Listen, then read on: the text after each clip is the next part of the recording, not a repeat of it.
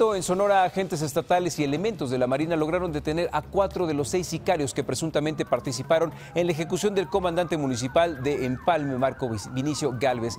Tras el ataque, los sospechosos intentaron huir hacia Ciudad Obregón en una camioneta. Sin embargo, gracias al apoyo aéreo y cámaras del C5, los sicarios fueron detenidos. Se les decomisaron dos armas largas y dos armas cortas, además de varias municiones.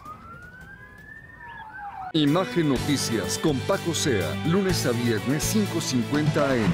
Participa en Imagen Televisión.